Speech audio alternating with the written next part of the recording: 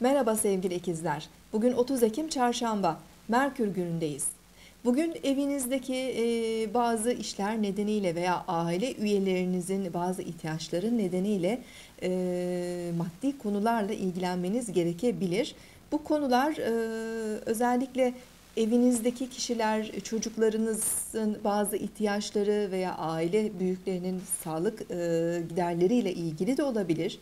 Dikkatinizi toplarsanız, konsantre olabilirseniz e, bugün e, önünüzdeki günler için doğru adımlar atmanızı sağlayacak güzel planlar yapabilirsiniz.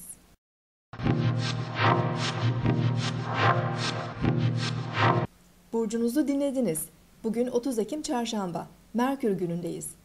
Başak Burcu'nda ilerleyen ay güne düzenli, çalışkan, titiz enerjiler veriyor. Sabah saatlerinden itibaren ay Akrep Burcu'ndaki Satürn ve Merkür'le olumlu açılar içerisinde olacak.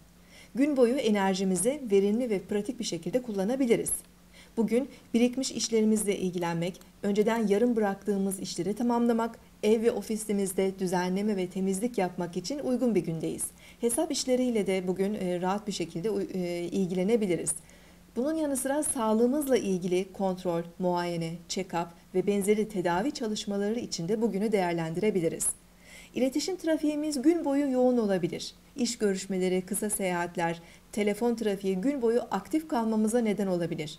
Akşam saatlerinde Yengeç burcundaki Jüpiter'le Ay arasında uyumlu görünüm kendimizi daha güvenli ve huzurlu hissetmemize yardım edebilir. Evimizde sevdiklerimizle ve ailemizle birlikte vakit geçirebiliriz. Yarın tekrar görüşmek üzere. Hoşçakalın.